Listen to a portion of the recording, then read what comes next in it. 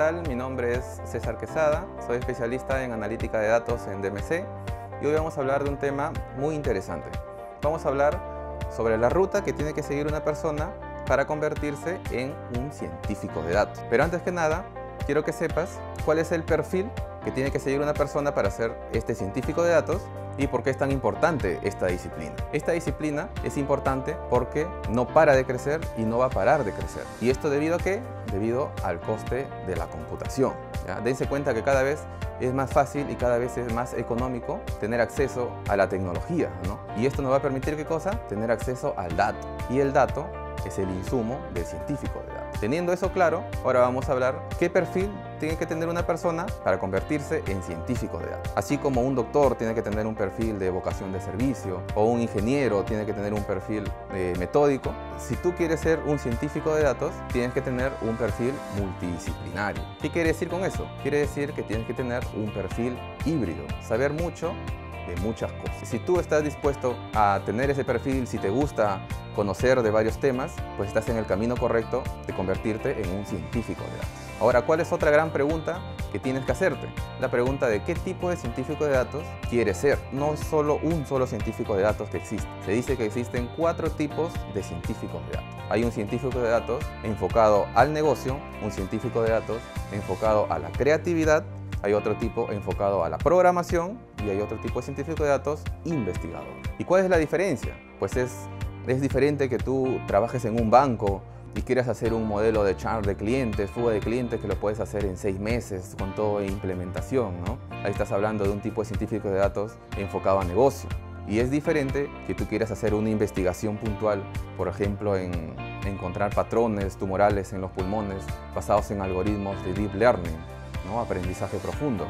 Eso estamos hablando de un científico de datos tipo investigador, porque la investigación te va a demorar unos 4 o 5 años y termina en un paper. ¿no? Así que esta es la gran pregunta, chicos. Ustedes tienen que saber qué tipo de científico de datos quieren llegar a ser.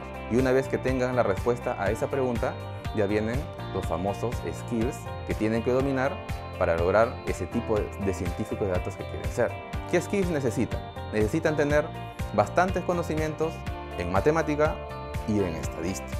Porque todo lo que es la ciencia de datos asienta sus cimientos en los algoritmos matemáticos, el álgebra lineal, el álgebra matricial y toda la gama de modelos estadísticos que existen y que son los cimientos para toda la parte que viene de Machine Learning y de Deep Learning. Ustedes tienen que acostumbrarse a tener una cultura en matemática y una cultura en estadística. ¿Qué más necesitan? Necesitan saber bastante programación. Programación, por ejemplo, ¿En qué? En el muy conocido Excel. ¿Qué más necesitan saber? Pueden dominar programas más sofisticados de almacenamiento y análisis de base de datos, como son el SQL, el Oracle. Yéndose más a la parte de presentación de resultados, necesitan conocer herramientas de visualización, los famosos Power BI, los famosos Tableau, ¿no? les permiten eh, mostrar KPIs de sus resultados que están encontrando luego de su análisis. Y yéndonos por la parte del poder predictivo, entrando más en materia de Machine Learning, de Deep Learning, existen programas más sofisticados como son el R, como son el Python, que les permiten hacer bastante análisis predictivo.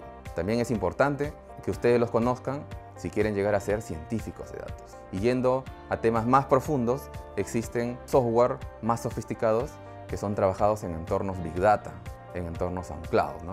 Pueden conocer lo que es Hadoop, lo que es Spark, aprender Scala, yéndonos a tecnologías cloud. Existe eh, bastante científicos de datos que trabajan en AWS, que trabajan en Azure, que trabajan en la nube de Google.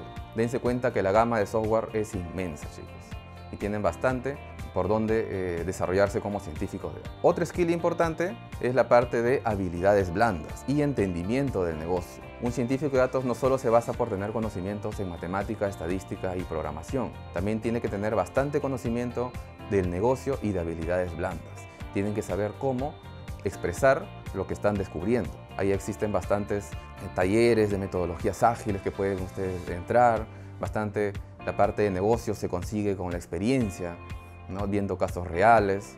Y todos esos skills son necesarios para que ustedes se conviertan en unos buenos científicos de datos. Y finalmente, para cerrar este video, yo quería darles una recomendación para que ustedes sepan cómo pueden lograr ser científicos de datos. Para que ustedes puedan lograr ser científicos de datos, lo único que tienen que hacer es practicar, practicar y practicar. ¿De acuerdo? Existen plataformas en internet, el famoso Kaggle, ¿no? donde ustedes pueden participar en concursos de forma gratuita, poniendo a prueba sus conocimientos en todo lo que es Machine Learning, Deep Learning y haciendo proyectos eh, reales, de empresas reales. Dense cuenta chicos que si ustedes no practican todas estas herramientas analíticas, no van a poder hacer científicos de datos de alta categoría. Bueno, espero que les haya gustado este video. Si tienen alguna duda, comentario o quieren que profundicemos en algún tema adicional, no se olviden de escribirnos aquí abajo. Tampoco se olviden de suscribirse a nuestro canal para que les lleguen más notificaciones y videos de bastante contenido analítico interesante. Nos vemos hasta un siguiente video. Chao, chao.